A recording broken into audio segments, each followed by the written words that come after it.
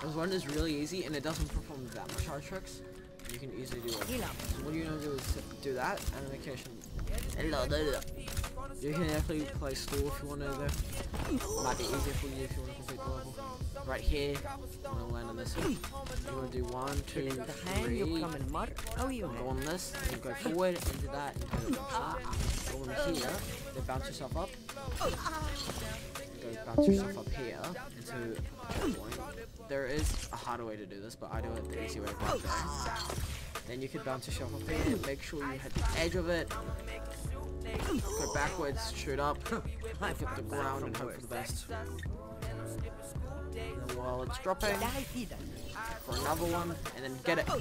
Let's go!